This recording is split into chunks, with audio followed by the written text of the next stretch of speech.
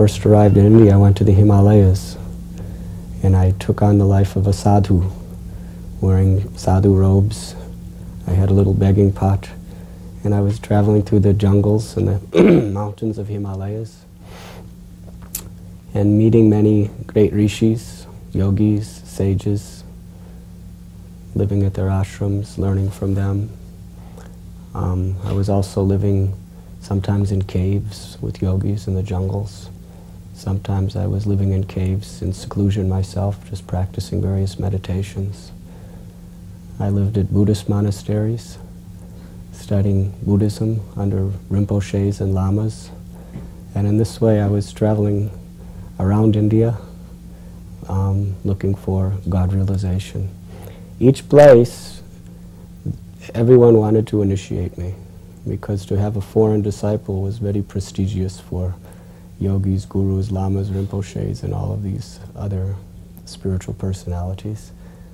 But I had felt in my heart that until I find a guru who I am convinced I will never leave for my whole life. I cannot accept initiation. So I was learning, and I was very favorable wherever I learned, and traveling. And at one point, I came to Bombay. I went there in order to try to get a renewal on my visa. So one day I was walking down the street in Bombay, and I saw a big, big sign, and it said Hare Krishna Festival and under it it said at Cross Maidan. So I asked someone, where is this Cross Maidan? And they told me where. So I went and there was a big, big pandal and many devotees.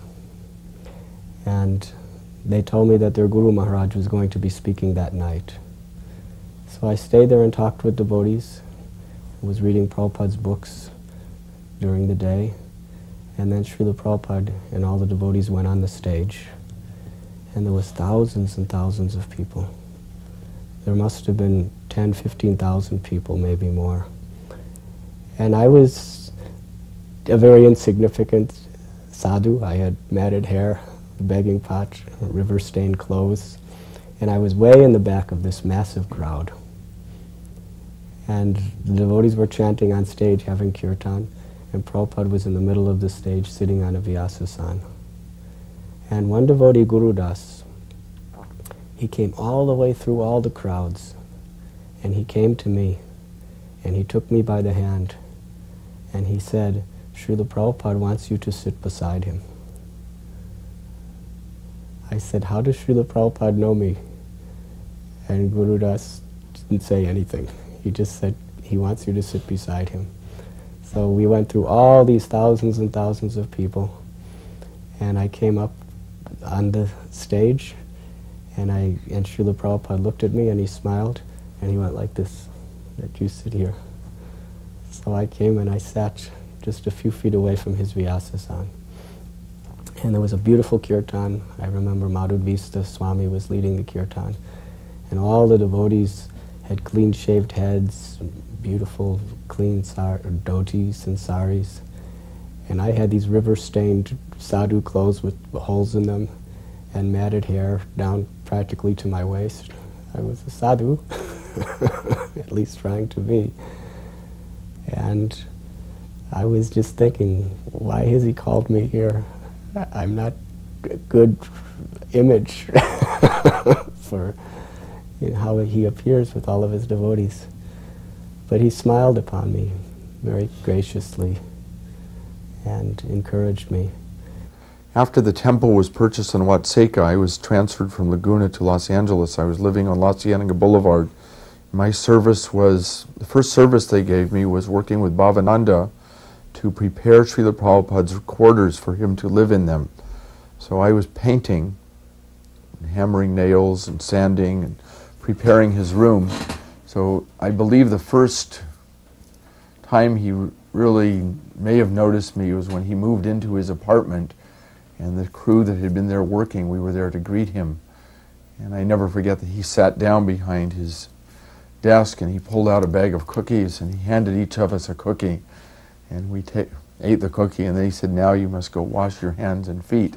You must always do this after eating. And shortly after that, there was an incident that I remember fondly. It was one Sunday, um, the Sunday feast was on La Cienega Boulevard. But after the feast, I came back to work, and at that time I was painting in the ceiling of the temple room. I was working on a scaffold, and I thought I was the only one in the temple, and I was singing Hare Krishna mantra quite loudly, and not paying too much attention to anything else, chanting and painting. I happened to glance down, and Srila Prabhupada was standing on the floor, surrounded by the temple president, who was Gargamuni and Karandhar. And I think Brahmananda was there. And I was stunned. So I scampered down from this um, scaffold, and I offered my obeisances to Srila Prabhupada. And I was kneeling on the floor with my hands folded in front of him. And he looked at me and he folded his hands and he said, Thank you very much. And afterwards, the devotees told me that when they had brought Srila Prabhupada over from the temple, and they told me that when they drove up, they could hear me singing, and Srila Prabhupada had asked them to be quiet, and they listened to my chanting as they walked into the temple, and they'd been listening as, I, as I'd been painting, and they were watching down below. So Srila Prabhupada appreciated the loud chanting. we wanted to start a, an incense business in Toronto, and Jagadish sent me down to LA to Jayatirtha to learn the incense business from him. And since I knew Prabhupada was going to be in, in Rath Yatra in San Francisco, just prior to that, I asked if I could go a little early so I might be able to see him, because none of us had ever seen him. And uh, so he said, all right. So I went to uh, the Rath Yatra in San Francisco when they had the funeral home and actually spent a whole day driving around with who's that famous Rath Yatra devotee that died? Jayananda. We spent a whole day together driving around watching, we were collecting donations and things. So I got to hang out with him during Rath Yatra, for which he is the most famous, you know. And uh, finally the day came when Prabhupada was coming in. We all went to the airport and there was, there was hundreds of us. And we were waiting anxiously and the plane was late and we were in the waiting room just at the doors where the people come off the plane. And it was interesting because there was a, a kind of a, uh, what do you call it, a divider there. So you couldn't actually see the people walking up the hallway. You could just see them all coming out from either side. And we waited and waited, and I think the plane was 20 minutes late, so it just intensified our anxiety and, and, and anticipation. And, you know, many of us hadn't seen Prabhupada, and I was just wondering, you know, what's it going to be like when I finally see him, because I'd seen so many pictures. And the plane landed, and then everything built up. It became more intense, and we were chanting. And then all of a sudden, the first passengers started coming off. And, of course, they were shocked because they saw all these devotees there. It was like, oh, my God, what's going on here? And the devotees that were closest to the divider were the ones that were going to see him first. And finally, after a certain number of people came off, you could just feel a wave as they saw Prabhupada coming and, and they got excited and it built up and it kind of just like a wave through and then Prabhupada came around the divider and as soon as I saw him, tears poured from my eyes. I just, just flowed like a water faucet. And I was just, it was so unbelievable. I was just so, it was so good. And then I just paid my obeisances and I just cried. And I was just so happy. It was wonderful. And then he gave his lecture. And after the lecture, he started to walk to the stairs going down from the stage. And as he walked by me, I went to touch his feet. Because traditionally, as I was taught, you're supposed to touch a holy man's feet and place the dust upon your head. So when I reached out to touch his feet, one of his very senior disciples chastised me. He yelled at me. He said, no one is allowed to touch Srila Prabhupada's feet. So being very embarrassed, I pulled my hand back. And Prabhupada looked at me and he smiled. And then he gave me the first instruction he ever gave me in my life. He said, you can touch my feet. So I reached and touched his lotus feet and placed the dust on my head. And then he smiled very mercifully and told me, you come and sit here every night. In those days, he would come on Monday evenings to LA Temple and give a lecture. And we would be always waiting outside. All the devotees would line the sidewalks. And when he drove up, we'd all bow down, and Srila Prabhupada would walk down the line of devotees sometimes he'd pat a devotee on the head, and sometimes he wouldn't. And you were always trying to understand whether he was accepting your service or not. And it, it seems that if he patted you, you felt that I'm not worthy, he's just giving me some encouragement. And if he wouldn't, you felt the same thing. um, there was another incident. In, once we moved, we moved into the new temple on Watseka Avenue, and Srila Prabhupada was giving Sri Ishopanishad classes every day. One incident, which is pretty famous, is that he asked after, after, after the class one day, he asked, Is everyone chanting 16 rounds? And I was pretty naive. And I raised my hand. I said, Srila Prabhupada, I'm not chanting 16 rounds. And Srila Prabhupada looked at me. Oh, why? Why you're not chanting 16 rounds? Uh, Srila Prabhupada, I'm working 20 hours a day, and the temple president doesn't give me sufficient time to chant. Then sleep two hours. Chant 16 rounds. And you could hear the shudder in the devotees' hearts. Later, I found that pretty much no one was chanting 16 rounds because it was the philosophy of the leaders that work was more important than chanting. And of course, Srila Prabhupada strongly said, don't diminish your work the, for the chanting, diminish your sleep. And so I took it seriously, and I would spend my late nights standing in the hot water closet trying to finish my rounds. We had a temple president who was artificially austere, Dharmaraj, always making us eat little, just, you know, to, to be austere. And we were always in anxiety and would always pig out at the feast. And like everyone else, we were addicted to halava. There was just something about halava that was irresistible. So we were going to Detroit, and he, we didn't eat very much that day, and he made this huge thing of halava, but he wouldn't let us eat any. So all the way down, all I was thinking about was halava. And it was right there, and I was trying to steal some, you know, and eat it. And I was in total anxiety. I'm thinking, here I am going to see the spiritual master, my, a pure devotee, and I'm thinking of halava. So I was so ashamed of myself. But I was ang- in anxiety. So finally we got there, and then they said, we need some, Prabhupada's going to stay in this devotee's parents' house. We need some volunteers to clean the house.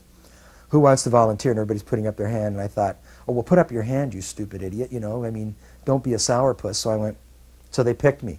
Meanwhile, my service at the temple had been cleaning the bathroom. And I had a lot of realizations cleaning the bathroom. I just surrendered and I got into it. And I made it like a real, you know, good service. And I just accepted it, you know, that I was a toilet cleaner. So I would clean the bathroom very thoroughly, and I just became proud of being a toilet cleaner. You know, and I thought about the Gita a lot. So I made a lot of spiritual advancement in the bathroom. And uh, when I went to the house, they said, okay, we need somebody to clean the bathroom. I said, me. So that was, I was in ecstasy cleaning the bathroom. I felt like I'd been trained for this. so when Prabhupada finally came, they had this huge plate of fruit and everything, and, and we sat down with Prabhupada, and he said, well, have some, and we're kind of picking at it. Like, and Prabhupada said, Never be shy in business or eating, prasadam. So we just ate. And I never forgot that. So I was never shy from that point on in business or prasadam. I had known already so many of the residents of Vrindavan, and they told me that Swami Bhaktivedanta is living at Sharaf Bhavan, one very wealthy man's house with his disciples. So I went there to meet Srila Prabhupada. And when I arrived, it was the early morning, and Srila Prabhupada was giving Srimad Bhagavatam class. And I remember he was chanting Jai Radha Madhava. And as he was chanting, I was appreciating like I had never appreciated anything in my whole life. I was thinking that the gravity, the intensity of the devotion in which he was chanting Krishna's names I had never seen anywhere. I had met so many of the greatest yogis, the greatest gurus of the Himalayas, many great Christian saints, Muslim saints. For six months I was traveling through Vrindavan, meeting all of the Babajis, so many of his god brothers, so many of the very famous Brijabasi saints. But I had never seen such a depth of love and compassion in Srila Prabhupada as he was chanting Radha Madhava my heart completely transformed. And then he gave his lecture. And when he spoke, every question I ever had was answered in one lecture. He spoke in such a way that everything I had ever learned in every religion, I felt was included within his message, plus something far more that was sublime.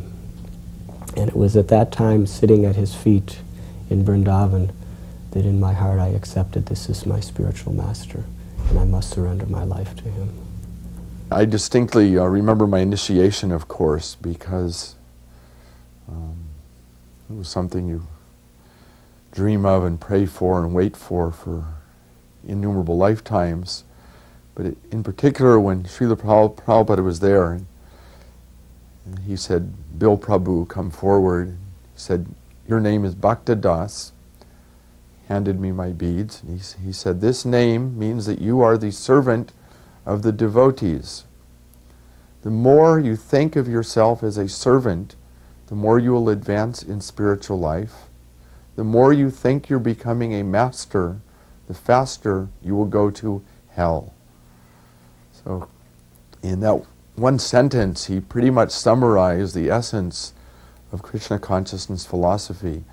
And over the years, I meditate on it over and over and over again and have attempted to uh, serve the devotees from whatever means I can. And I've found that it is, without any doubt, the mercy of the devotees um, that helps one to advance in spiritual life much more than the mercy of Krishna. You know, our philosophy is that we get the mercy of Krishna is to get our guru. And the mercy of the guru or the mercy of the devotees is to get Krishna. And we oftentimes, of course, in the neophyte stage, Kanishta level of devotees, we worship the deity and we neglect the devotees.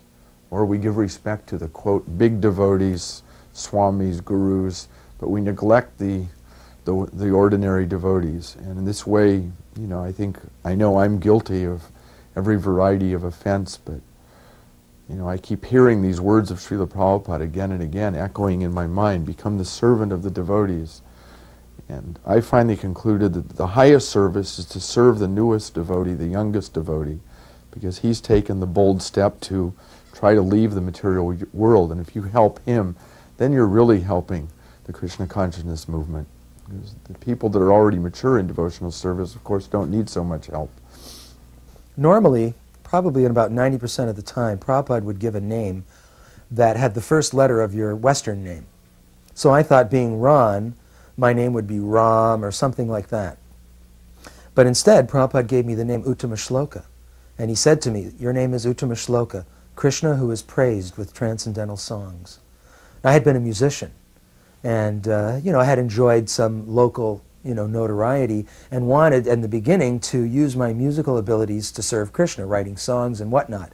And I always wanted to do something like that. And when Prabhupada gave me that name and said Krishna who is praised with transcendental songs, I, I just was in ecstasy. I thought it was wonderful, you know.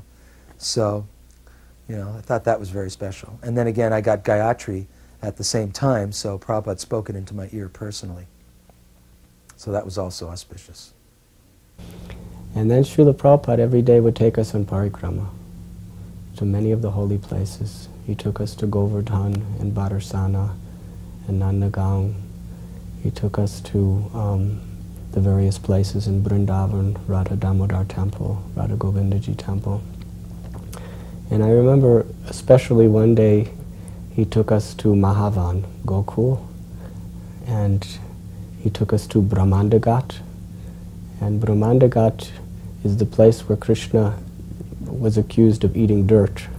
And then he opened his mouth and Mother Jashoda saw the universe. I remember Srila Prabhupada so animately telling that story right at the place. He was telling the stories where, wherever he would take us. And then he told us to take bath in, in the Jamuna. So all the devotees were inviting Prabhupada to also take bath in Jamuna. But Srila Prabhupada said, today I am very sick and I cannot take baths, but you all go and enjoy a nice bath in Jamuna. So all the devotees were in Jamuna and he was on the steps, quite high over the river. And he was just watching all the devotees enjoying the wonderful ambrosial waters of Jamuna. And he was just smiling, looking at us. And he became so ecstatic just to see all the devotees bathing that he very quickly got up and took off his clothes and put on gamsha and came down to take bath with us in Jamuna. And devotees were very ecstatic, very happy. Everyone was gathered around him, and devotees were even bathing him like an abhishek with Jamuna water. And Srila Prabhupada was just very happy to be bathing in the Jamuna along with his disciples in the holy land of Vrindavan.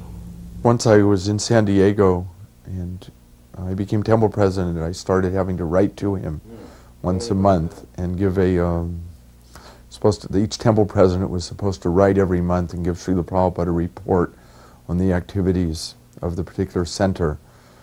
Um, I, I started writing my first letter, I believe, in January of 1971. I was so nervous, I agonized over every word, every comma, wanting to try and make it perfect. Probably took me weeks to write the letter. And Srila Prabhupada wrote back and he said, It appears Krishna has his blessings on you. Now you just make sure that all of our principles are followed, and then there will never be any scarcity. So I found that to be invaluable instruction, and I still try to live by that, that we should have faith that Krishna will maintain and protect his devotees if we are obedient um, to our spiritual master. I had found a building in Toronto, uh, a big church on Avenue Road, which is a very, very good location and a huge building, wonderful building, and perfect. And this Christian group was moving out to a new place, and it was for sale for a half a million. And uh, all the realtors kept telling us about this place, so it, there was all this attention focused on it, and it was the best place we had found in years of looking. So I went to Prabhupada, and I told him, you know, about the building, and they introduced Prabhupada. This is the temple president from Toronto, Uttama. Prabhupada, we found this building. It's, it's, it's amazing. It's this huge church. The temple room is like 40 feet high ceilings. Uh, there's space for brahmachari quarters. I mean, I described everything to him, and he said, sounds great. Uh, how much do they want? And I said, well, they want 500,000. And we had never paid that much for a building.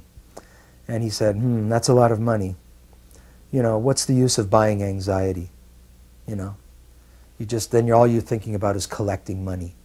You know, we don't need to purchase anxiety. That's not our business. Our business is, you know, to remember Krishna and, and that's all. So, it's a good location? I said, oh yes, Prabhupada good condition. Oh, beautiful Prabhupada. It's on this main road. Everybody drives.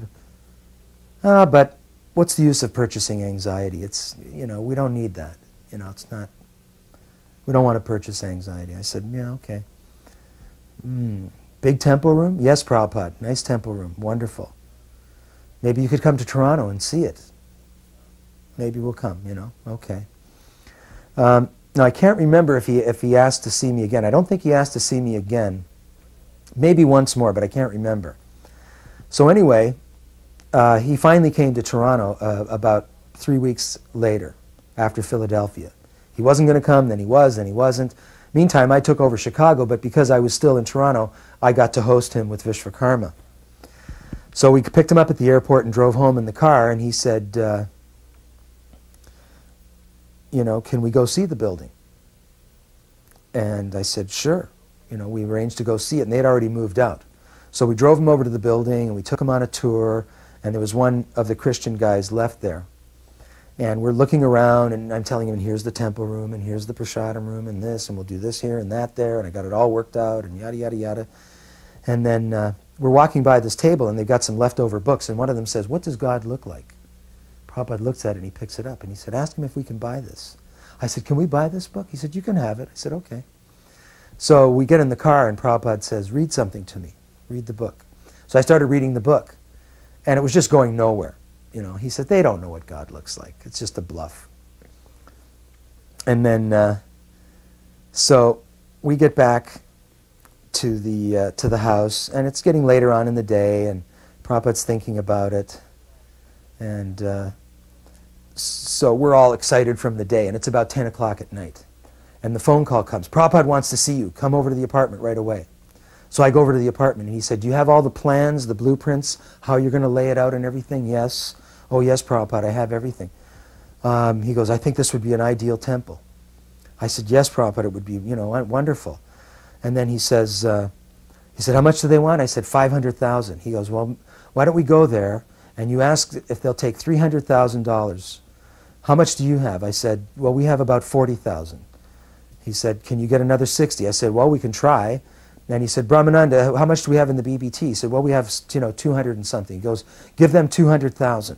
He goes, Prabhupada, we've never given that much at all to anybody. He goes, that's okay, give it to them. And see if they'll take 300,000 cash. And tell them we'll worship Lord Jesus next to Lord Krishna on the altar. So we'll preserve the Christian element, so to speak. And, uh, and he said, so do you think they'll do that? I said, well, we can only try. And I said, but, you know, he said, can you handle the payments on 300000 I said, well, Prabhupada, that's an awful lot of money. I said, you know, we don't want to purchase anxiety. He goes, no, there must be anxiety. Otherwise, we'll simply be sitting around eating prasadam and getting fat. There must be anxiety. he just slammed his fist on the table. I was like, okay. Completely reversed what he said. Well, we don't want to purchase anxiety. There must be anxiety. Everybody was shocked. Everybody was shocked. After the parikrama, in the morning every day, devotees would take prasad, and then Srila Prabhupada would have darshan in his room and meet his old friends from Vrindavan, his god brothers, and so many others. Um, and I used to just sit there all afternoon with him and just watch him talking with his old Brajabasi friends. And there was a rule that devotees were not supposed to be there because in the afternoon the devotees were supposed to do seva, doing Harinam Sankirtan and other services.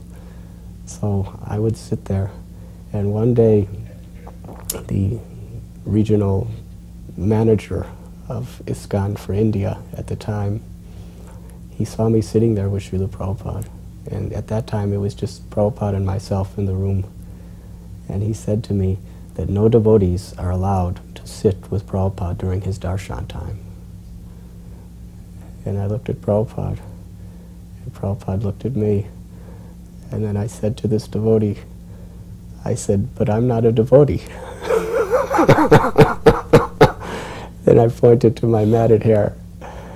And then he looked at Prabhupada, and Prabhupada smiled, and then he left, and I got to stay with Prabhupada. And I remember it was so beautiful seeing Prabhupada meet his old friends, especially Krishnadas Babaji. That was a beautiful sight. Krishnadas Babaji came to see Prabhupada. I remember actually, I met him on the street and I told him that Prabhupada was here. So he said, take me.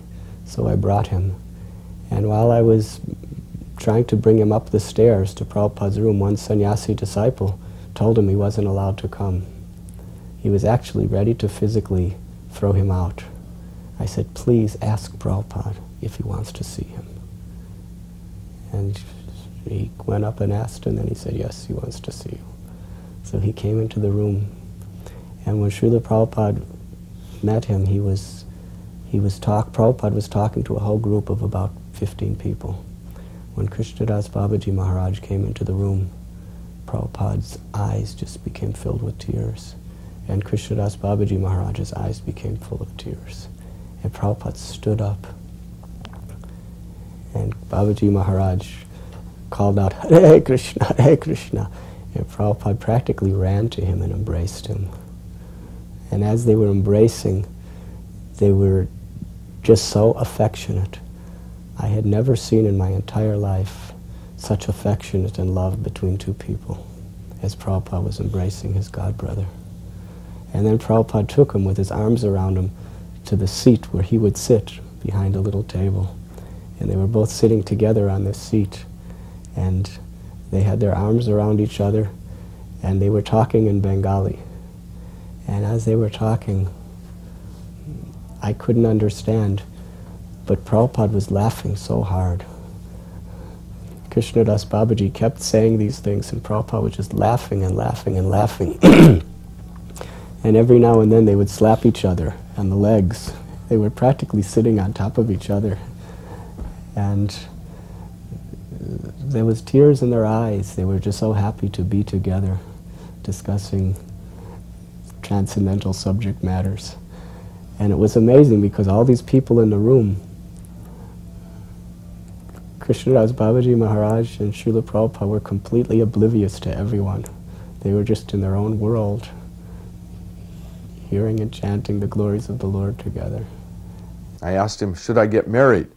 Because I was a brahmachari, and within my mind, I, I was determined I'm going to remain a brahmachari in this life. I don't. I never had a girlfriend before I joined the movement. I felt that Krishna had protected me, and I felt that I could continue. And then some of our senior men in Los Angeles started telling me that I should marry various girls, and this just totally destroyed my mental equilibrium. I started thinking about getting married, and I asked him, and he said, as far as you're getting married is concerned, it is better if you can remain a brahmachari. But he didn't say no or yes, it wasn't specific.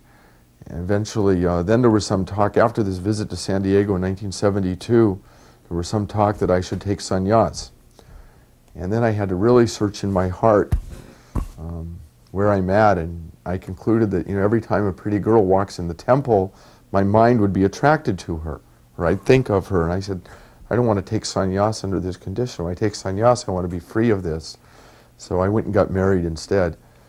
And I've come to, uh, over the years, come to appreciate very much the mercy of the Grihasta ashram, that Krishna is so kind to um, allow us that. And think of those poor Mayavadis who must take sannyas even though their hearts are full of so many desires.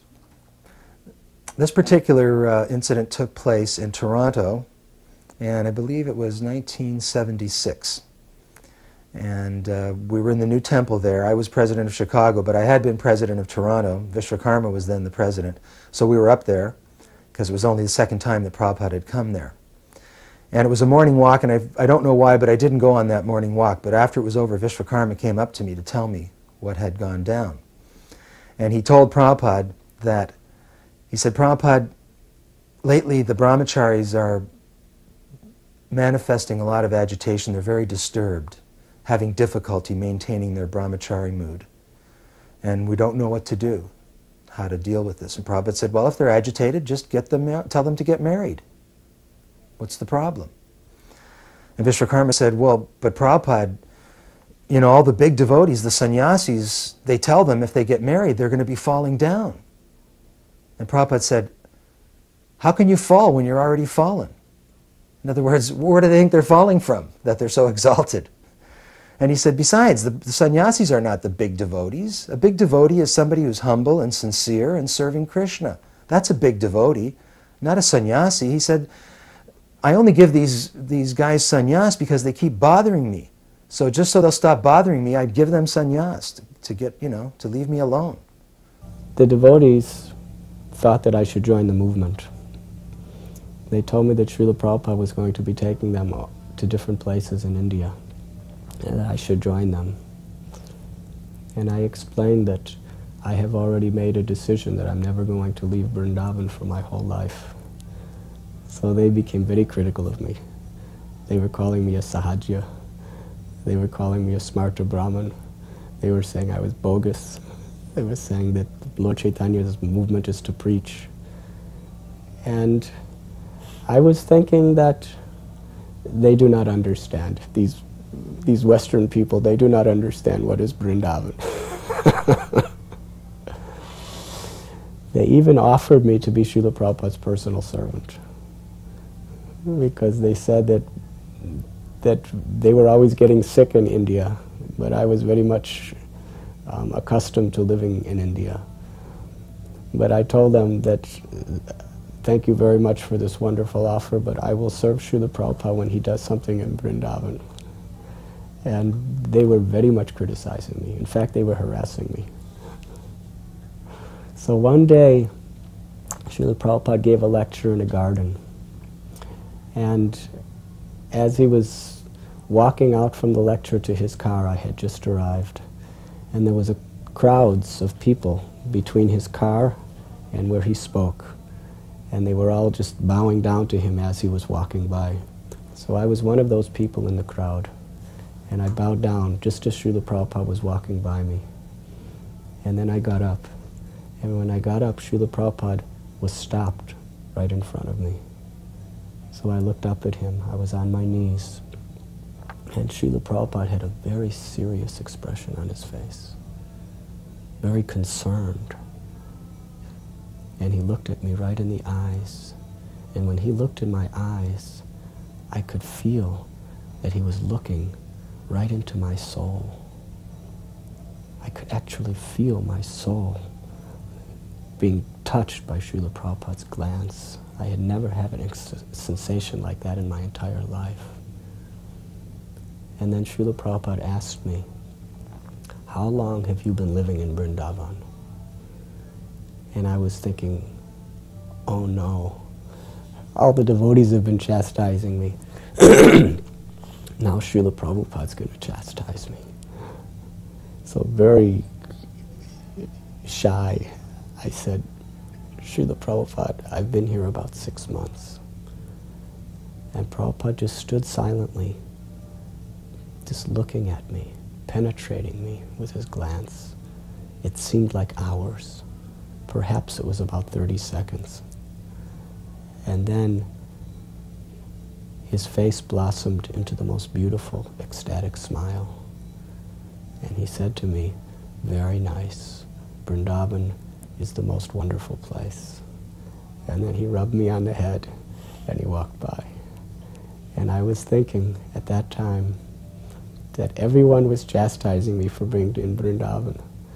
But Prabhupada knew just what I had to hear to become attached to him. At that time, I knew I was wrong, and I was ready to go anywhere and do anything for him because I felt such a love, such an understanding, such a depth of he was willing to say whatever was required to encourage me to become more attached to him and more attached to devotional service. One letter he wrote me, this is actually rather interesting.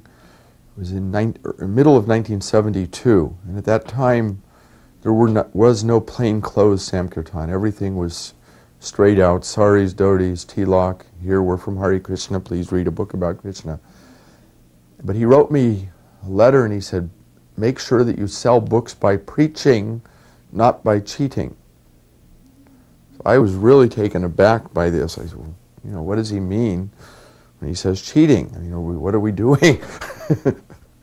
then I wrote and asked him, Srila Prabhupada, you mentioned sell books by preaching, not by cheating. What exactly do you mean?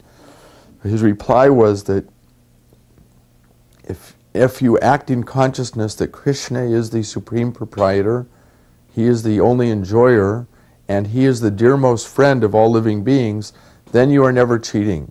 But if you act in any other consciousness, you are always cheating. So he didn't specifically address, you know, the uh, fact, oh, you're lying or something on Sankirtan to collect money to give out a book. But, you know, the way I took it is Krishna is within us and when we're on Sankirtan, we should be trying to please the super soul within us, who's within all the people we're selling the books to. Prabhupada said, uh, he asked me if we were distributing the books. You're distributing the books? Is that going well? I said, yes, Prabhupada. We're distributing a lot of books. And I gave him the figures, and they were impressive. And he said, you're distributing the books, but are you reading them too? I said, oh, yes, Prabhupada. Every day we have four classes. And then he smiled at me like this big smile. It was almost like a surprise. And he said, oh, thank you very much. And I just was washed with a, an incredible feeling of satisfaction that I had, you know, pleased him. And it was true because we would have nectar of devotion one day and then nectar of instruction the other day. We'd alternate and then do Bhagavatam. And then at night we'd have Krishna book, Chaitanya Charitamrita, and Bhagavad Gita. And I told him that, and he was very, very happy. And I just remember this big smile coming over his face. And he said, and the devotees, they're coming? And I said, well, not really. Maybe every six months a few people join. You know, he said, that's all right. Manushanam sahasreshu kaschid yatati siddhaye. Said, you know, out of thousands among men, maybe one is interested. And out of thousands of those, you know, maybe one becomes a devotee. So that's all right. Don't worry about it. One day he was giving Srimad Bhagavatam class. And I remember he was saying, that you are all distributing my books. But my question is, are you reading my books? He said, if you go up to someone and try to convince them to buy the books, what happens if that person asks you, do you read these books? What is it about? And you tell him, I don't read these books, I only sell these books. He said, how will you convince them? Unless you are convinced of the subject matter of these books by reading them carefully, how will you convince others to, be, to buy them? He was very strong telling all the book distributors that they have to very carefully read his books. At one time I had the idea, let's try and sell the books through the bookstores. And I went and had a um, advertisement produced for radio for the Krishna book and invested some Lakshmi in radio advertising and placed the Krishna books in all the bookstores in San Diego County. And I wrote that I wrote to Srila Prabhupada about that, and he wrote back, "This is very nice. If this, please let me know if this is successful, because if it's successful, we're prepared to spend millions and millions of dollars to advertise our books." And of course, you know, I didn't have enough finances to do it the way it should have been done. But it was effective, at least in the fact that it put the books into all the stores, got them on display, and it, made, it had some, and of course, some of them sold, but not enough in that time to justify the amount that we'd spent. But it, he, I think Srila Prabhupada liked the attempt to boldly do something. Um, someone told me, I, I, heard this year that someone, Srila Prabhupada once told them, what it, he asked, what is humility? And Srila Prabhupada said, humility is to act boldly for Krishna. We get the idea that humility is to be very meek and quiet or submissive. But no, Prabhupada didn't say that. He said, be bold for Krishna. After Srila Prabhupada left, it was announced that in August he would be coming to New Vrindavan for a special Bhagavad Dharma discourse where he would be speaking on a mountain and discussing Srimad Bhagavatam. And also, he was going to celebrate Janmashtami and Vyas Puja in New Vrindavan. So they were recruiting people to help to prepare. so I was thinking that I will go to New Vrindavan to help prepare for Srila Prabhupada's arrival, then I will go back to Vrindavan, India. So I went to New Vrindavan. And there was great, great enthusiasm to prepare everything for Prabhupada's coming. There was a house called Madhuban, and it was an old, beaten-up house, and they wanted to renovate it. So I was helping with the painting and renovations. The day before Srila Prabhupada was coming, actually it was at night, he was coming the next morning, they discovered that the toilet didn't work. So everyone wanted to take rest, and I was told to fix the toilet. I had never fixed a toilet in my life. I was just pushing things in the toilet. I don't know what I was doing, but I was just doing anything to try to get it to flush because it wouldn't flush. Finally, I was up all night. Just when Srila Prabhupada was arriving, I pushed the lever and psh, it flushed. And I was thinking, Prabhupada's going to be so happy. He has a toilet that will flush. So then Srila Prabhupada came to the Madhuban house. And he went in, and I was just feeling so proud that I have made his toilet so it flushes. And when it was time for Srila Prabhupada to go to the toilet, the devotees led him and said, this is a very nice toilet, it works very nicely. And Prabhupada took his little lota and he went out into the field and he responded to nature in the field. And then he took his bath in the field. And he said that I enjoy responding to nature in the nice fresh breezes in the grass. so the whole time Srila Prabhupada was there, he went out to the field to respond to nature every time. He never used the toilet. So I got a lesson. Srila Prabhupada was teaching me a lesson of detachment. We should be willing to give anything and everything to please our Guru, but we cannot be attached to the results. there's a couple of incidents that I remember clearly. One was we he had a lecture at the University of San Diego. It's a Catholic school. And most of the persons attending were priests, nuns, bishops. I think there was a cardinal there all the lay teachers of the uh, Catholic Diocese of Southern California. There was a big crowd. My father also came. And we'd put Srila Prabhupada's Vyasasana on top of a desk. and we'd put a chair, and he climbed, up the chair onto the desk, onto his Vyasasan. It was in a sort of a big, you know, lecture hall. And he's, he began his lecture by quoting a Sanskrit sloka that I've never been able to find. And then he said, This means you are what you eat. In this age, most people are eating hogs. I never forget, I was sitting on the floor at his feet, and I was, Prabhupada, how can you say this? I couldn't believe he would speak like this to this particular audience. You know, I could understand if he was calling the hippies drug addicts or whatever hogs, but he was calling this highly so-called cultured, religious, um, scholarly audience. He just said, you are all hogs. And I was just, I was totally dumbfounded. I looked at the faces of the other devotees. They were all dumbfounded too. Because if I had been speaking to this audience, it was the last thing I would have said. But of course, Srila Prabhupada, with having no ahamkara, you know, on the absolute platform, he could say anything and get away with it, whereas they probably would have come up and stoned me if I had said the same thing. I never forget that. I don't remember the rest of the lecture, and I've looked for it over and over again, and I, have never been able to find it. I don't know. I don't think it's in the archives, or if it is, it hasn't been put in um, legible condition yet.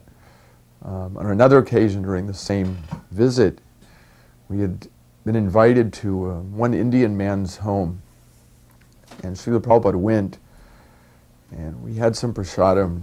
We ate there. I don't know if it was prasadam, but then Srila Prabhupada and this gentleman whose name was Dr. Duvari began a philosophical discussion. Dr. Duvari was presenting every variety of Western philosophy, atheist philosophy, and so forth, and Srila Prabhupada was countering him.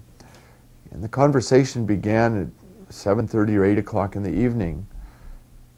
And it went on and on and on. It's finally about 11:30 at night, and it's still going on. And there was just there were three or four of us sitting there. We didn't say a word the whole time. We were just sitting, watching Srila Prabhupada and listening. And finally, Srila Prabhupada became exasperated with this man. And he just said, "You're a fool, a mudha such as you I've never seen before. I've never met such a complete fool." And he started pounding him like this because the man wouldn't submit. And then finally, Dr. Duvari laid down and put his head on Srila Prabhupada's feet and he submitted. And since then, his entire family became Vaishnavas and they became, I was just in San Diego and their family and their family's family, they're still the biggest supporters of the San Diego temple. We, we drove Prabhupada to a, uh, a little function at an Indian's house with the people from the Indian community and devotees. And, and uh, we had a big kirtan when we got in. And Prabhupada was sitting on the couch and chanting, and I was playing mridanga. And, and my son was there. He was about, uh, I guess, how old was he? Three or four. And he had a little wooden drum. But he was kind of standing, staring, gawking at Prabhupada. And Prabhupada went like this, you know. He moved his hands like this, you know, play the drum, play the drum. And so Rod started playing, Radha Gopinath started playing. And uh, we finished the kirtan, Everybody stopped, and, and everybody thought Prabhupada would speak. But he looked over at Brahmananda and he said, You speak. And so Brahmananda was shocked. He was like, Oh, you know, who wants to speak in front of the spiritual master? You know, he's just, just, just very unnerving. So he stood up and he stuttered and fumbled and said something, you know, philosophical. And I'm thinking to myself, ah, you know, ha ha. It's a good thing I'm not a sannyasi, so Prabhupada can't get me, you know. Otherwise, I'd be in trouble or something, you know, because they'll probably ask all of the sannyasis to speak. So Brahmananda sat down, and I look over at Prabhupada. He looks over at me, and he goes, Now you speak. I almost froze to death. I, I just, I was in shock, and I just stood there. I sat there, and I went, Oh my God. He goes, Stand up. So I stood up, and I, I, I was in some kind of vacuum. I don't know what it was, and I just spoke. And I hope it was transcendental. Nobody laughed, which might not have been so good, because usually people laugh when I speak, but. But anyway, that was very shocking. So later on, we were having prasadam, and I said, Prabhupada, do you mind if we chant bhajans while you eat? He said, no, not at all. I said, Prabhupada, do you have any favorite melodies for Hare Krishna? He said, oh, yes. I said, which one? He said, all of them.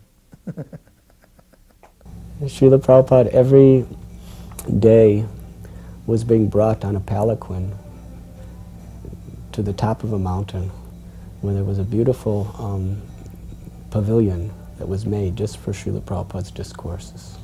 Devotees worked very hard to make it for Prabhupada, and there was a wonderful stage and wonderful Vyasasan. And hundreds of devotees and guests came from all over America for this Bhagavad Dharma discourse. The first day he was brought up on a palanquin. The devotees spent weeks making this palanquin for Prabhupada. When it was time for him to get up, they couldn't find the palanquin. Finally, Prabhupada was just waiting and waiting and waiting, and then they found the palanquin, and they brought him up. And afterward, Prabhupada devotees worked so hard, and they had a whole procession of kirtan up this mountain, and it was so uncomfortable for him. So when he got to the top, he, he said, Isn't there a car that can drive me up here? so every day after that, they would drive him up by, uh, Hayagriva would drive him with a Volkswagen. We were driving home, and uh, one of the cars pulled up beside us with one devotee, a Yojapati, who was the cook. And I said, Prabhupada, this is our cook.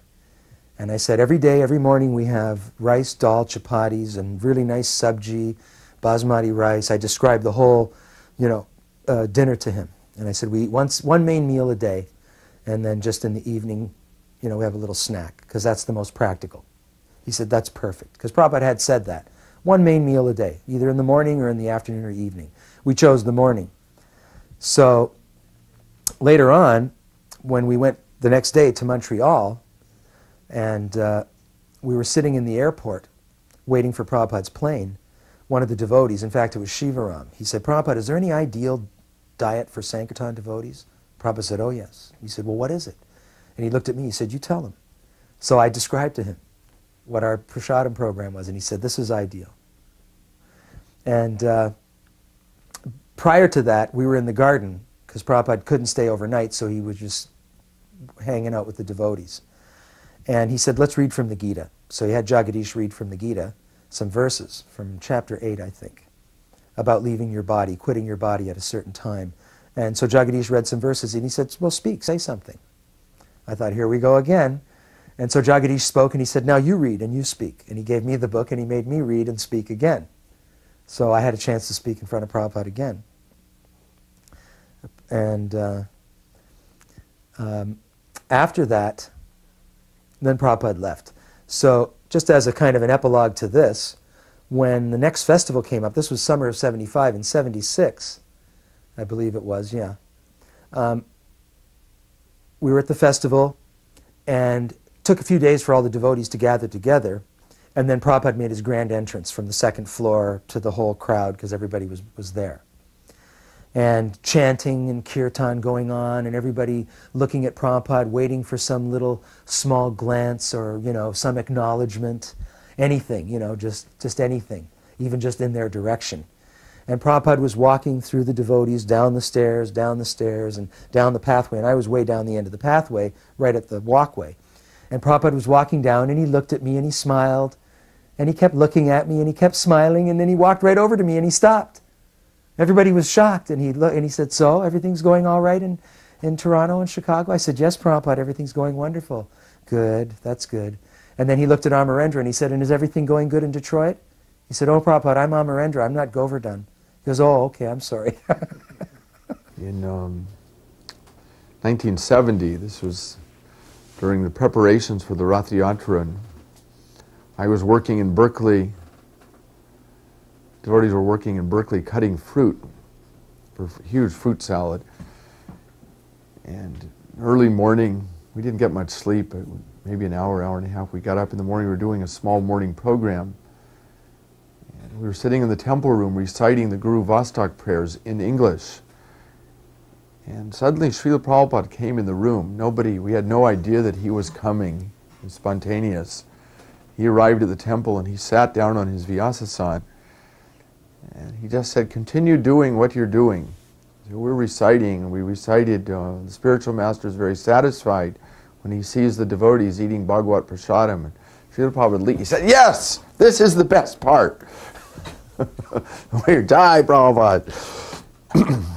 and then there was Janmastami. And I remember Janmastami night, Radha Vrindavan Chandra was being moved into a new temple in which the devotees had just built. And there was about a month's worth of work to be done that day, as often devotees' time schedules create. So devotees were working frantically because at a certain hour Prabhupada was going to come to see the deities Radha Vrindavan Chandra in their new temple. So just as Prabhupada was walking in, one door, ladders and buckets were running out the Pujayaram door. And when Prabhupada came, everything was perfect. Everything was complete. But the walls had just been painted. We were all praying that Prabhupada wouldn't touch the walls. so he came in and he saw the beauty of Radha Vrindavan Chandra. And he was looking at them. And he actually had tears in his eyes as he was just glancing upon the beauty of Radha Vrindavan Chandra and the wonderful worship that the devotees were offering. And Srila Prabhupada spoke to us. And he said that your Radha Vrindavan Chandra are most beautiful. They have appeared before you just like the most beautiful American boy and girl, just to attract your hearts. And then he said, your worship is very beautiful. He said, but be very careful. There are two paths in, on the path of bhakti. There is Pancharatriki Vidhi and there is Bhagavad Dharma. Pancharatriki Vidhi means worshipping the deity with great devotion and performing all services for the pleasure of the deity. And Bhagavad Dharma means hearing and chanting the glories of the Lord. He said they are like two rails on the same train track. They must go together. He said, if you are not attentively hearing Srimad Bhagavatam and chanting the holy names every day, he said, the day will come when you look at Radha Vrindavan Chandra and you will think, why has my Guru Maharaj left me with this burden? His words seared into our hearts. And I remember from that day on, the sadhana of the devotees at New Vrindavan was so incredibly strict. So strict. Devotees were getting up at 2 in the morning to chant their rounds. Everyone was there for Srimad Bhagavatam class. Prabhupada inspired that. Bon Maharaj, Prabhupada's godbrother, came to America, sponsored by uh, Professor McDonald, or McDonald, I think McDonald, John McDonald, or something like that. He was a real nice professor, PhD in uh, in, I guess, South Asian studies. He had gone to Mayapur and done his dissertation on Chaitanya Vaishnavism for his PhD and taught at the, uh, you know, the uh, Department of Religions in Toronto was very favorably disposed to us, and I became friends with him. And he sponsored Bon Maharaj coming over. And uh, so we met Bon Maharaj at his house. We invited him to the temple. He came for a kirtan. He gave a lecture and spoke, you know, with a certain degree of erudition and pretty articulate. And then we went, uh, Professor McDonald arranged for a uh, meeting with what was known as an ecumenical council in Toronto, which was a collection of heads, uh, certain leaders of, of different religious groups, the Jewish community, the Baptists, the Christians, the Catholics, the, you know, the Seventh-day Adventists, and on and on. And he came and he had written uh, a, a, translation and commentary on Bhakti Rasamrita Sindhu, the Nectar of Devotion. And so uh, he gave a little talk. And it was very elevated. It was about, you know, Radha and Krishna and Radharani being the, uh, you know, the pleasure potency of Krishna. But he spoke in a language similar to Bhakti Siddhanta. That wasn't really everyday language, and if you really didn't know the basic principles, you wouldn't really get it. And I could see that they were just paying polite attention but they weren't getting anything. So after he spoke, each one of them took a turn to uh, say something. Well, we're really glad to have you, and we think in this and religious unity and blah, blah, blah. And, you know, just saying all this useless things, you know, just kind of trying to be nice. But they all went around the room, and then it came to me. And they didn't, I could see they didn't really want me to speak, but of course, that was their problem, you know. So I said, well, you know, it's interesting to me to, we, we're gathered here today, uh, representatives of different spiritual groups in, in the community. and we've heard, you know, Bon Maharaj in, from India speak about God, but yet I don't hear anybody else speaking about God. If that's the thing that we all have in common, why is it that we can't talk about that and explore one another's realizations or concepts or understandings of what God is or who God is or, you know, like that? Because certainly we have that in common, and it seems rather strange that we're not doing that and we're just sort of saying very, you know, light things that don't really mean anything, you know? I can't remember what I said, but I know I agitated everybody. and so they all sort of took a turn shooting me down and speaking without looking at me and talking about fanaticism and this and that and the other thing. so I guess I did something right because I really aggravated them and uh, put them on the spot. So what happened was in Toronto, when Prabhupada looked at the building, one of the other things that he talked to me about was he heard about this. And there was some morning walks that I heard about that he asked questions because people told him what I did. And so he, he talked to me. He said, Well, what did Bon Maharaj say? So I told him to the best of my remembrance. And one of the things that Bon Maharaj said after I spoke was something to the effect that Lord Chaitanya never really preached. He just kind of chanted and, you know, loved God and, you know, didn't really preach any philosophy. And I, I can't remember exactly, but something to that effect.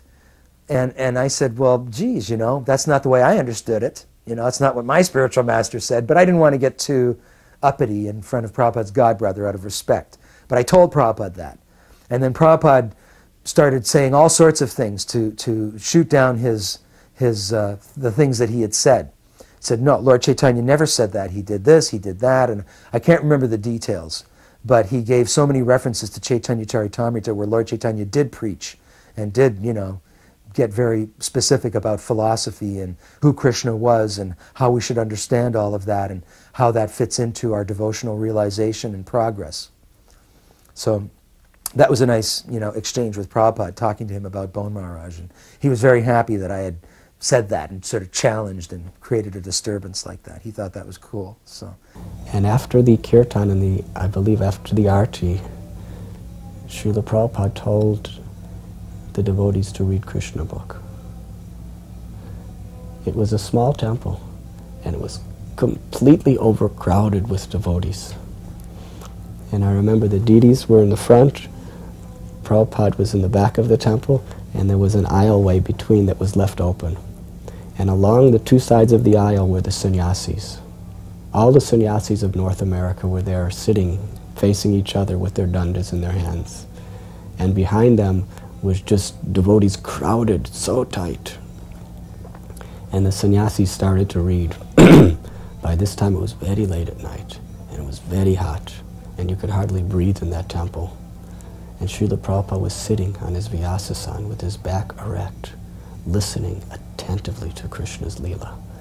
And everyone in the temple room was so exhausted we were falling asleep. Literally, people were falling down and being caught by each other.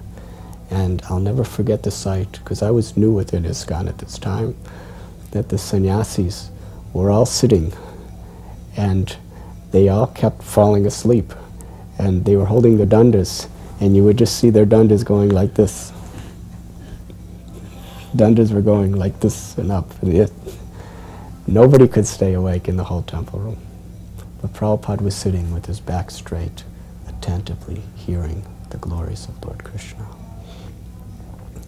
And when the first chapter was ended, the devotee read, Thus ends the first chapter of Krishna book entitled, I think, The Advent of Lord Krishna. And everyone, when they heard that the chapter ended, they were so happy. They chanted, Jai Srila Prabhupada! Not because of the book, but because it was over. and Srila Prabhupada sat with complete gravity and said, Next chapter. And then they started reading the next chapter. And the devotees, the sannyasis were falling asleep. The devotees, everyone was just struggling and straining. Plus, we fasted all day. Besides being tired, we were very hungry. It was way after midnight by this time. And the second chapter, I think it's the prayers of the demigod of the demigods in the womb. It was a long, long chapter. And it seemed like hours and hours. And then the devotee read, Thus ends the second chapter of Krishna book, entitled The Prayers by the Demigods to Krishna in the Womb. And everyone was so happy that it was over, thinking in terms of prasad and sleep. They chanted, Jai Prabhupada! And Prabhupada was sitting next chapter. He started reading the next chapter. And when I was watching him, I was thinking of Maharaj Parikshit. How Maharaj Parikshit was sitting for seven days and seven nights, rapt attention, just hearing the glories of the Lord, tasting the sweetness of the ambrosia. And it says in Srimad Bhagavatam that this is really the sign of a great soul, as he has such a taste to hear Krishna's glories. And I was watching all of us. We were struggling and straining, falling asleep, falling down, praying that the reading would end. And Prabhupada was sitting there, completely in, immersed in the ecstasy of hearing Krishna's Leela. And then the next chapter ended. And by that time, the devotees hardly were able to even say, Jai Prabhupada. and then Srila Prabhupada looked at all of us we were pathetic. And he just smiled. He was still sitting erect, completely immersed in Krishna's Leela. And he said to us that I think that you are all very tired and hungry, so we will end here. and then everybody, as loud as you could imagine, chanted, Jai Prabhupada! and Srila Prabhupada was very happy just to see all of us together at New Vrindavan. This is in 1972, just uh, at the time Srila Prabhupada came to the San Diego Temple. There was, this, there was one devotee in San Francisco. I think his name was Devarshi. And he'd become a little bit famous as a very expert seller of Back to Godhead magazines. But somehow or other, he had had a minor fall down, I think a sexual uh, liaison of some sort. And the temple president in San Francisco had kicked him out because out of the temple because of this. And he was sort of lost. And he was wandering around, and San Francisco temple president was calling on, don't let this Devarshi in, he's a rogue, he had sex. And he called me, and but then Devarshi shows up in the front door of the San Diego temple. And I had a hard time keeping anyone out. Srila Prabhupada was there. And Devarshi's sitting on the front lawn wanting to come in, I said, why don't you come see Srila Prabhupada? He came in and he explained something to Srila Prabhupada about what had happened and how he wasn't welcome in the temples anymore. Nobody liked him. Prabhupada said, you come and travel with me. so this is the example of his compassion. Nobody else wanted him, then come and travel with me. I want you. He didn't reject anyone. You came to New Vrindavan. And I was given charge of garlanding Prabhupada, which was a very special service. When Srila Prabhupada first arrived, the plan was he was going to be escorted into the temple, and then when he sits on his Vyasasan, I was to greet him by putting the garland around his neck.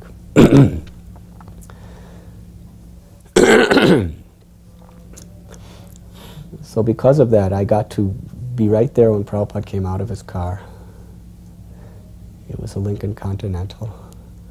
And I had a tray with Prabhupada's garland on it. And everybody was pushing to be with Prabhupada. But because I had his garland, I was allowed to walk right behind him, immediately almost to the side and behind him.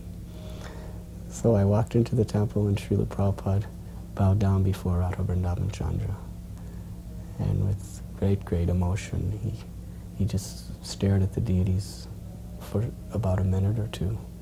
And then he went by back and sat on the Vyasasan. And by that time, all the devotees were crowded in the temple room, and the kirtan was going on. And I had the garland, and I approached Srila Prabhupada. And Srila Prabhupada looked at me, and he smiled.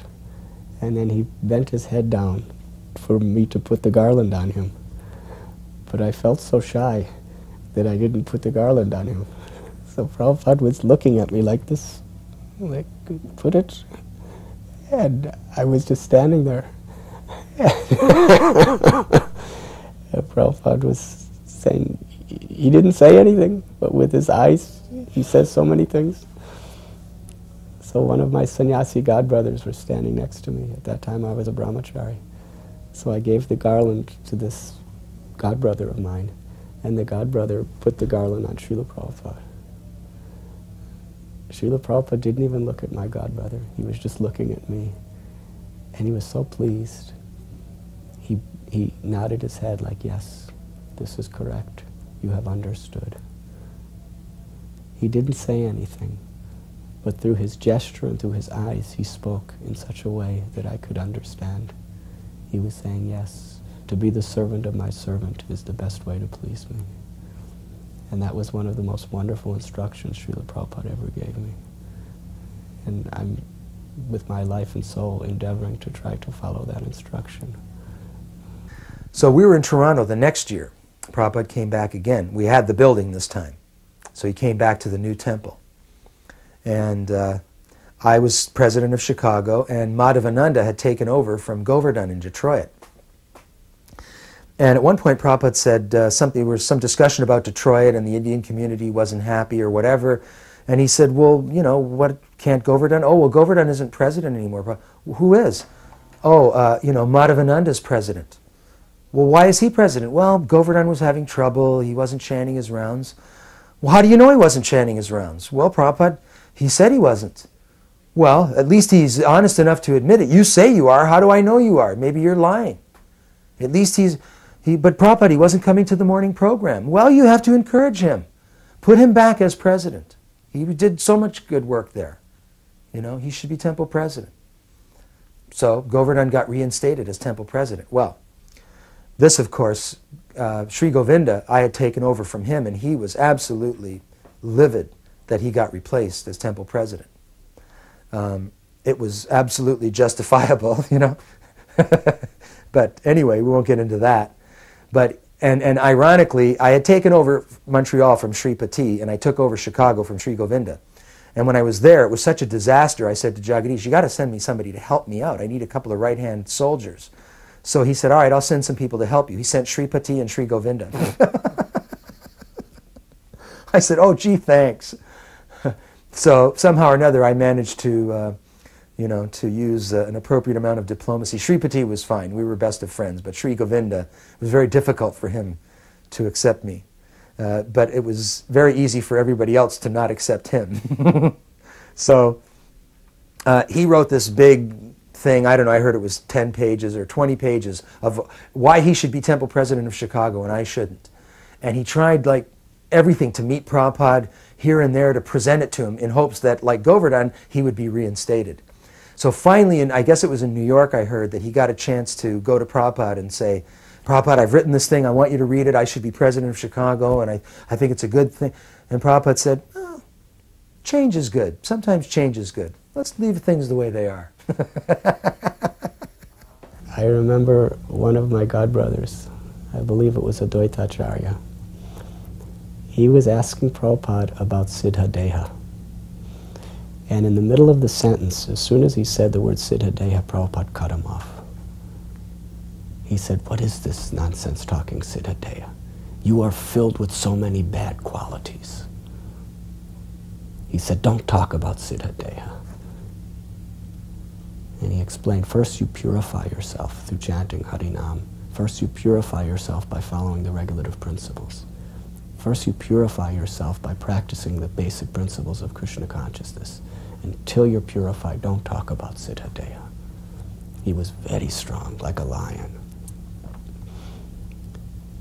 Another devotee was talking about what if after taking initiation you fall down. Srila Prabhupada, again like a lion, he said, What is this fall down? There is no question of fall down.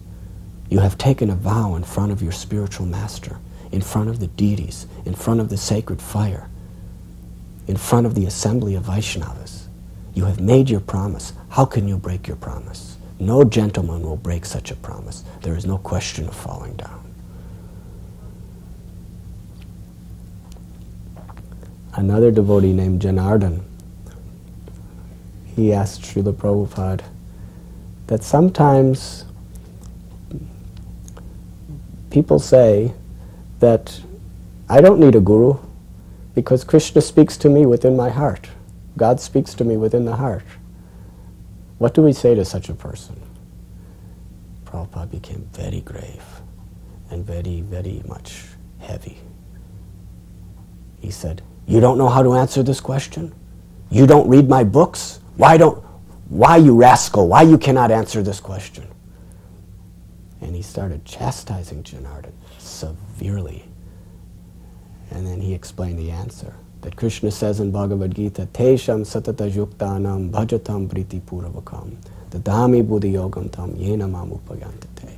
That only one who worships Krishna with complete devotion and does not fall down in any circumstance, only to such a person does Krishna speak within. Constantly serving me with love. He said, why, you, why don't you answer this? Why you don't know this verse? And he just went on and on and on chastising Janardhan. And he was so heavy that everybody was like paralyzed. They just couldn't cope with Prabhupada's anger. And one devotee named Kula Shekhar, he asked Prabhupada a simple question to try to change the subject. And after he asked the question, Prabhupada just went back to Janardhan and continued to chastise him. He said, You are a rascal. He said, You, are, you have simply come to give me disturbance. In this way, Srila Prabhupada really seriously stressed to all of us how we should learn his books and be able to preach according to his books. That he had given so much of his life and his energy to write these books for us. That we should, he speaks through his books. We don't have to ask him all these things personally.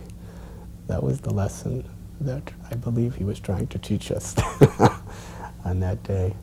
Of course, during that time, we would walk with Srila Prabhupada, not often because there was a number of devotees wanting to walk with him, but once every 10 days or once every two weeks, you'd get to go on the morning walk. And I don't have great recollection of the conversations. I remember that at one time he was indicating that the day will come when we will, when the Krishna consciousness movement will be so powerful that if someone doesn't chant, we will shoot them. Sometimes people um, don't like it when I say that story, but I remember it very, very distinctly that Srila Prabhupada was fully confident that Krishna consciousness would be established as the Dharma of the age and that it would spread throughout the whole world, would become the, the universal religion and it was simply a matter of time. Of course, he never indicated how much time that would be. We always, you know, the Christians have been saying Jesus is going to come again every year for the last 2,000 years, so I think we're also thinking that, you know, in the next 10 years the world's going to end and by magic Krishna consciousness is going to spread. Whether that's true or not, we don't know, but we, we can be confident and assured that this is the Yuga Dharma and it will spread and we should take part in it. I remember Prabhupada saying once, I think Satsvarup asked him, how can we accelerate our advancement in Krishna consciousness? Morning walk in Mayapur. Prabhupada said, if, just think that I'm going to die in one minute. If you knew you were going to die in a minute, how accelerated would you would your consciousness be focused on Krishna? So if you if you think like that, I could die in a minute that, that kind of mindset will give you the kind of uh, intensity of focus that you need. Every day, I lived in the old Brindavan farm, which was on the other side of the mountain. And I had to go all the way, every evening to see Srila Prabhupada, I had to climb down, because I was pujari. I had to climb down a mountain, across a small river, and then climb up a mountain, and then come to Prabhupada. Every day, as I was climbing up, there was a rose bush. And one beautiful, fully blossomed rose would be there every day. It was like a miracle. And I would pick that rose and I would always bring it. And when I would come, Srila Prabhupada would sit on his Vyasasana, I would offer that rose at his lotus feet. And oftentimes, when he would be lecturing, he would pick up that rose and just hold it in his hand. And I remember one day, he was holding that rose I offered him and he was smelling it and he was looking at it and he gave an example. He said, just like this rose is a flower, he had a garland of marigolds. He said, these are also flowers. He says, but still, this is a rose. Although they are both flowers, still the rose is the best of flowers.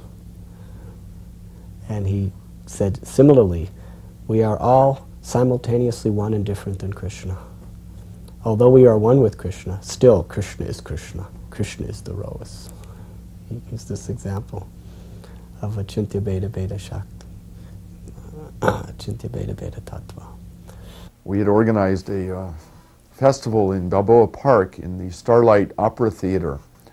I think it was on July 1st, 1970. We tried to advertise and promote it, but unfortunately not a lot of people came.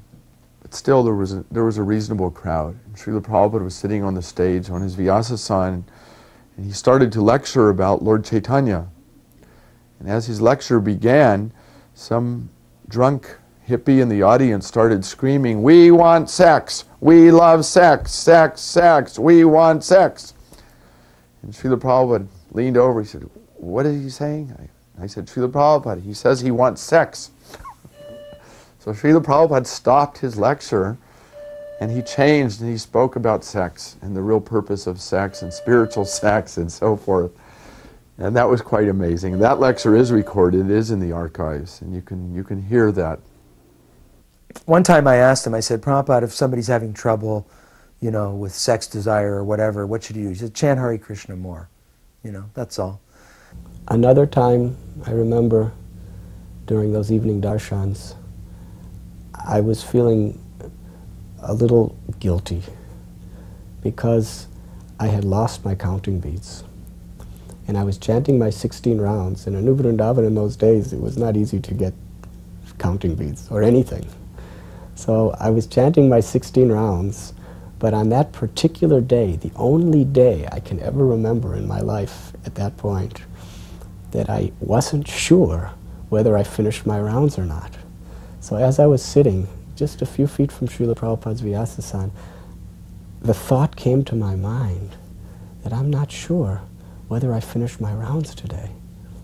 Just when I thought that, Srila Prabhupada looked right at me he just stared at me very sincerely. Because during the darshan, when he wasn't talking to people, he'd be chanting japa.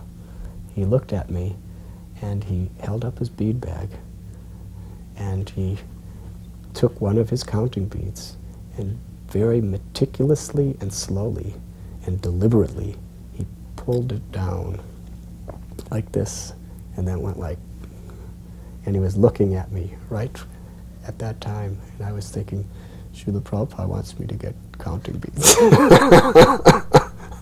Srila Prabhupada wants to make absolutely sure that there can be no compromise, that we, that we properly chant our 16 rounds every day. I remember Prabhupada saying in L.A. when I was, before I was initiated, he was talking, he was referring to the verse in the Gita, Rasoham Mapsukonteya, I am the taste in water. And he said, you know, even a, a, a, a wino or a drunk man, if he drinks his wine and he thinks that Krishna is the taste in that, you know, he can make some advancement by, by that consciousness. That consciousness will be purifying to him. Not the drinking of the wine, of course, but if he has that consciousness, that will be something uh, progressive and he can, you know, he should think like that even. One evening, devotees assembled for the night darshan, and it was very cold and it was raining that night. And Srila Prabhupada's secretary, who was then Pushta Krishna Maharaj, he came out and he told us that Srila Prabhupada will not be giving darshan tonight. we were all gathered at the front door of the house. And we were very sad that we wouldn't be able to have Srila Prabhupada's most precious association that night. So we all started walking away. And somehow Prabhupada, through another window in the house, saw how despondent we were when we were walking away. So he told Pushta Krishna that called him in, because usually he was outside. So he called us and said, Srila Prabhupada wants you to come in, he'll give you darshan. So we all came into this living room, we were all crowded in, and we were sitting down, and then Srila Prabhupada came out, and he was very, very ill that night. He just sat with his hand in his head like this, and he asked Pradyumna to read from Srimad Bhagavatam, 12th canto, about the symptoms of Kali Yuga. And it was announced that he would not speak that night. We would just be able to sit with him and hear Srimad Bhagavatam. So Pradyumna started to read some of the symptoms of Kali Yuga. And Prabhupada was sitting. And I remember he became so enlivened to hear Vedavyasa's descriptions of what will come in Kali Yuga that every time he read a symptom, Srila Prabhupada, he just all of a sudden became free of all of his sickness and dynamic and full of joy. He began to explain. Like I remember he said, people will, people who are living, people will travel long, long places just to go to place of pilgrimage. This is a symptom of Kali. And Prabhupada said, yes, just like today. People are living in Calcutta and they are on the bank of the Ganges and they will go through so much trouble to go all the way to Hardwar just to bathe in the Ganges. He said, similarly, you are in New Vrindavan.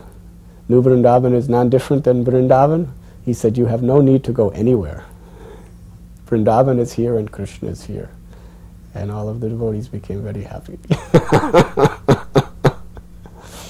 and then they read the Pradyumna read about how a symptom of Kali will be- beauty will be seen by how long one grows his hair. And Prabhupada said, yes, you see, Veda Vyas, he could see past, present, and future. He said at the time when he wrote this Srimad Bhagavatam, there was no hippie movement, but he knew the hippie movement would come. and then he began to explain how Srimad Bhagavatam was the perfect scripture, because it was written by Veda Vyas, who had perfect realization and who had perfect vision of past, present, and future, and perfect vision of Krishna. So in this way, what, what originally appeared to be a very despondent night of just going away without Prabhupada became the most wonderful of all the darshans. There was a, a nice incident. The next day, um, Mr. Joshi, who was a Punjabi magistrate, retired, lived in uh, the Berkeley area, across the San Francisco Bay, had invited Srila Prabhupada to come for lunch. It was sort of a traditional thing. Every time Srila Prabhupada came to San Francisco, he would go to Mr. Joshi's for lunch. Mr. Joshi would greet him with a garland of $1 bills. We'd all criticize Mr. Joshi why you're not giving $100 bills. and Mr. Joshi would wash Prabhupada's feet. He'd wash all the devotees' feet, and he'd sit us down. Um, but at the time, my body was feeling wiped out. I'd been working hard for this Rath Yatra for a number of weeks, and it seemed like after every festival the body would collapse. And I remember sitting down for prasadam, and I just felt horrible. But I hadn't said anything to anyone. I just was determined I'm just going to grit it out, you know. But Srila Prabhupada looked at me, and he said, Bhaktadas, you're not feeling well? I said, Srila Prabhupada, I'm a little bit sick. And he said, You go take rest. You have worked hard. Now take rest. Yes, Srila Prabhupada. Paid my obeisances and I walked into a bedroom in the back and laid down and passed out. And after some time, I heard some noise and I look up. Srila Prabhupada was coming in. And so I jump out of the bed and fall down at his feet and pay my dandavats. And I start to walk out of the room. And Prabhupada point, he says, Take rest. You've worked hard. Take rest. yes, Srila Prabhupada. So I got back in the bed. And there was two twin beds right next to each other. And I was in the one on the right. And Mr. Joshi came and he pulled back the covers of the other bed. And Srila Prabhupada crawled in. And then Mr. Joshi tucked Srila Prabhupada in like he was a small child. It was very sweet. And so, I mean, the two beds were maybe an 18 inches apart or less. And my head was here and Prabhupada's head was there. We took a nap. and of course, for me, it wasn't an ordinary nap. It was a Goloka nap, Yoga Nidra nap. Very extraordinary. But I think it can show us how much compassion, how much sensitive, how much caring Srila Prabhupada was for the devotees and how he didn't carry an air that, hey, I'm the guru and you're a nobody, you go get out there on the floor and I'm taking the bed. He treat, I mean, he was actually equal to everyone. Um, of course, we did. I saw him. He's God to me, but um, the kindness is what overwhel- was overwhelming. And always when I think of Srila Prabhupada, every time he ever saw me, he, the first thing he would say is, Bhaktadas, are you happy? He's always concerned, are you happy? of course, I was always happy when I was with Srila Prabhupada. Sometimes before I went to see him, I was, ah! but always when you'd see him, everything disappeared. All problems evaporated. There weren't any problems in his presence. Toward the beginning of his visit, the weather became quite cold and rainy. And Srila Prabhupada decided he should leave New Vrindavan because it wasn't very suitable to his health. So his secretary told that Srila Prabhupada's going to be cutting his trip here short because the weather here does not agree with him. At that time, Kirtanananda Swami became very sad. And he told Srila Prabhupada that, that if this place is not suitable for you to live happily, then we will just leave this place and sell it and start New Vrindavan somewhere else. And I'll never forget Srila Prabhupada's reply. He said, no. He said, because you are protecting Krishna's cows here, your mission is perfect it is a success. And then he said, I will stay until the end of my scheduled visit. I guarded Prabhupada's room in, in Portland, Oregon. He was there for a few days. And I asked his servant, you know, what do you do with Prabhupada's bead bags? He goes, well, I give them away. I said, well, can I have one? And he said, sure. And he sent me one in Montreal. And I still have that bead bag, and I kept the beads that Prabhupada chanted on at my initiation. They're in there and they're on my little Prabhupada altar. But during that Portland stay, we went to some kind of a New Age meeting where Prabhupada spoke. And uh, when he was speaking, some, uh, there was a lady in the audience who had a little child, and the child was crying. And Prabhupada said, Could you please take the child out? And the lady said, Oh, is the child disturbing you? Prabhupada said, No, the child's not disturbing me, it's disturbing you and everyone else. One night when it was cold and raining, he was having a small darshan in his, in his own little private bedroom or recording room where he would do his translations. And only about 15 devotees could fit. Now, I had a picture. I, I was the pujari of the Brahmachari's temple. It was Radha Vrindavanath's temple. And Srila Prabhupada was very merciful to me. I used to make sandesh every day. And Srila Prabhupada, whenever anyone from New Vrindavan would go to visit Prabhupada, they would always bring him a box of sandesh I made. And he, out of his great kindness, he always showed appreciation. And when he came to New Vrindavan, he told me that he wanted me to make sandesh for him for every meal, three times a day. So on this one particular night, I came with a picture of the deities from the Brahmacharya ashram, Radha Vrindavanath, because Kirtanananda Swami decided that Srila Prabhupada should not go there because the road was too treacherous and because the ashram was so primitive and, and there was no modern anything there. He thought it, was, it would be an inconvenience for Prabhupada. So I was thinking as Pujari, if he's not going to come to see the deities, at least the deities could come to see him. So I came with a photo.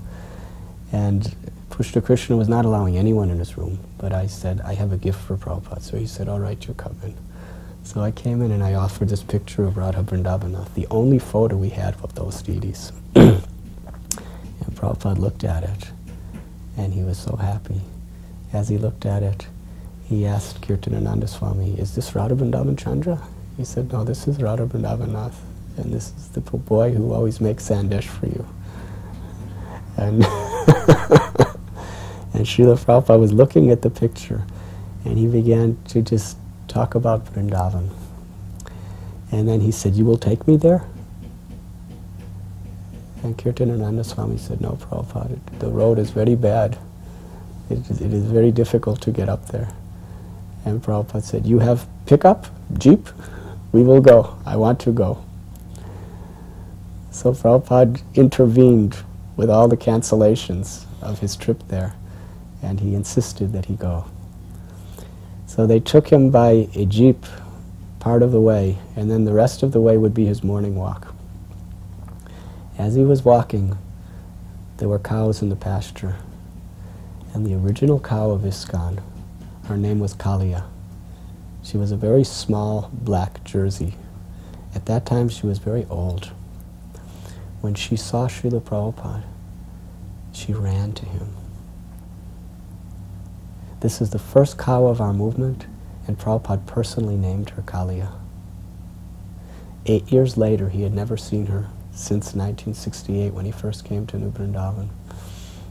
When the cow came running up, one devotee said, one devotee said, Prabhupada, this is a very special cow. And Prabhupada said, yes, I know, this is Kalia. And Kalia walked beside Prabhupada for the morning walk. Uh, I wanted to bring Jayananda to, all the devotees of San Francisco wanted to have a darshan of Srila Prabhupada. But most of them had never seen him. And they'd worked so hard. So I gathered most of the local devotees and brought them to Srila Prabhupada's room. And I wanted to bring Jayananda. Jayananda kept saying, I know I'm too busy. I don't have time. I have to work. And I grabbed him. I said, You're coming. You're going to go see your spiritual master. And I threw him in the car and drove him over. And Prabhupada was staying in an apartment, Keshava Bharati's apartment. And we all went in together and paid our obeisances. And Jayananda sat down against the far back wall. And he went to sleep. Instantly, within moments, he was asleep. And he didn't say a word to Srila Prabhupada. Prabhupada didn't say a word to him. We had our darshan for 30 minutes, 45 minutes. We got up to leave, and I said, Jayananda, it's time to go. Okay, paid his obeisances, and he walked out. And I believe that was the last time Srila Prabhupada ever, or Jayananda ever, um, no, I guess he saw him again in 75, but I, you know, it was obvious that the relationship between Srila Prabhupada and Jayananda extended far, far beyond the range of the voice or this body, that it wasn't at all dependent upon that, um, those conditions. It was in New York, and Prabhupada was on a morning walk. And as they were walking along, Prabhupada stopped and looked up at some birds that were singing in the tree. And he said, uh, Oh, they're chanting Hare Krishna. And the devotees looked at each other, stunned, thinking, Wow, Prabhupada understands the language of the birds. And they said, Prabhupada, are they really chanting Hare Krishna? And he said, Sounds like it to me. Prabhupada was so encouraging. He was so encouraging. He would do anything to try to increase a devotee's enthusiasm for devotional service. One time when he was eating the sandesh I prepared for him, he said that this is the best sandesh I have ever tasted in my entire life. And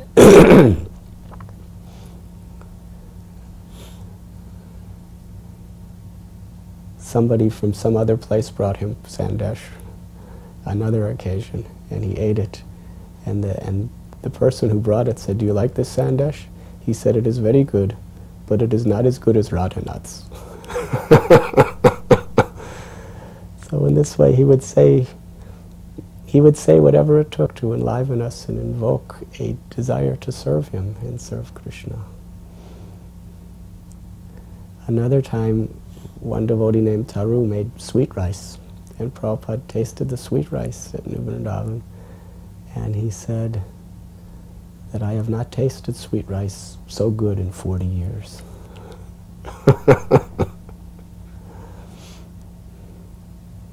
Another time, Chandramauli Swami, he made pera for Srila Prabhupada. And Prabhupada liked it so much.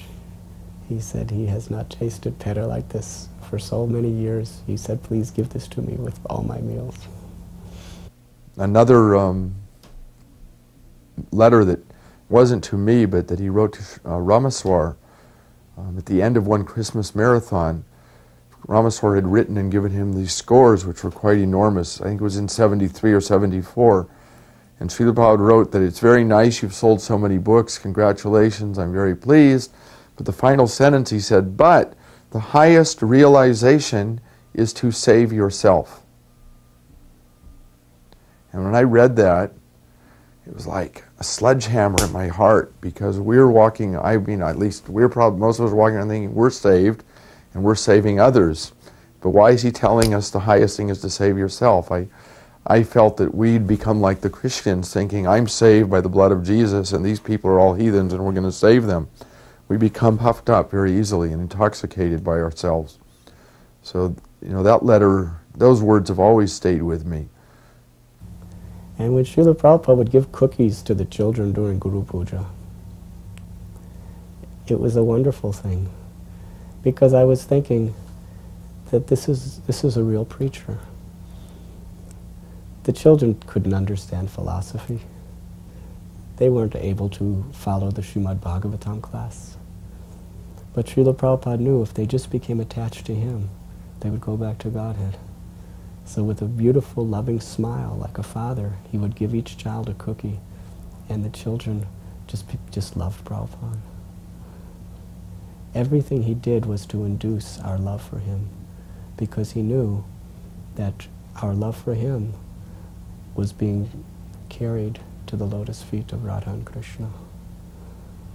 Regarding the question of the origin of the jiva soul, Srila Prabhupada was constantly being asked, uh, where did we come from? Were we originally with Krishna and so forth? And I was with him several times when this question came up, and invariably he gave the same answer, at least when I was present, and it was that you're you're sick, you have a disease. Do you care how you got the disease or do you care about getting better? So first get better, then you'll understand. That was his point. He made that point over and over and over again. Now there's so much discussion and people are studying different scriptures trying to say, well, we were originally with Krishna or we came from the Brahma Jyoti, we've never been with Krishna. Um, what is the point of speculating about it? Why not get healthy? the to me, the discussion is, uh, is, is a waste of time. And that's how Srila Prabhupada always dealt with it with us. Just get yourself healthy. Not think we're such big scholars that by studying books we're going to understand. It's not something we can understand by studying books. We've got to understand it by having it revealed to us by pure devotional service. It was the 1977 Mayapur Festival. And uh, at that time, Prabhupada was, was sick to the point where he wasn't speaking, wasn't participating in any functions, wasn't giving class. And everybody was very disturbed because we didn't know what to make of all this. At any point, they had a, a kirtan contest uh, between all the temples. And at that time, I was the president of Chicago, and we were really into kirtan. In fact, I had imbibed the Bengali style, and I was introducing it in Chicago, and later on it became popular all over the movement. And we chanted at a uh, preliminary round, you know, I guess, and uh, we won that round. And we were going to go on to the finals. It was just whittled down to a few groups. But at the same time, unfortunately, there was a little bit of controversy, a little bit of antagonism towards our group. Because we were so much into kirtan, people took it the wrong way and started criticizing us. And I told the men in my group to just ignore it because that wasn't the mood that we were in and we didn't have to put up with that. But it became, it got out of hand, so much so that it bothered me. And at one point, uh, Tamal Krishna came up to me and he said, well, Uttama, it looks like your group's going to be in the uh, finals. I guess you'll probably win. That's what everybody thinks. And I said, no, I don't think so. And he said, why not? I said, because I'm leaving. I'm not even going to chant. He said, well, why not? I said, because nobody here is into the right mood. They're making it into a political thing. They're, they're at trying to agitate all my men, and they're saying that we're into it for you know, non-devotional reasons, which is completely wrong. So as a protest, I'm leaving because nobody appreciates it. And he said, that's not true. Prabhupada appreciates it. And I said, well, how do you know? He said, well, because when you were chanting at your first, the first kirtan, we were up in the room with Prabhupada.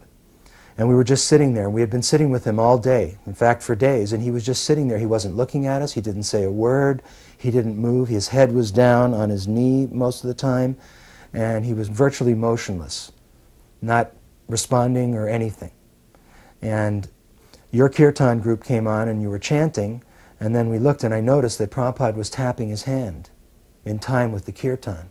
He was tapping on his leg or something like that. And then at one point the kirtan reached a crescendo. And, and the women responded as they do in Bengal with that kind of yodeling thing. And it just, just built up. And Prabhupada looked up and he said something like, just see, this is ecstasy. And he said, and we were all just taken aback because Prabhupada hadn't said anything. But at that point, he said that. He said, so Prabhupada appreciated your kirtan. And I said, okay, I'll stay. The depths of Srila Prabhupada's compassion was something that invoked a mood of surrender from my hard heart. How much he was willing to extend himself and sacrifice of himself to give us Krishna consciousness. He was so learned that whatever he spoke was just pure, purely presenting the absolute truth in toto. That everything was included in every word he spoke. But the compassion and the concern and the love he had for conditioned souls was something that I had never seen before. I lived with several of his godbrothers who were also extremely learned. They knew the Shastra. It appeared as he knew the Shastra. But Srila Prabhupada's deep, deep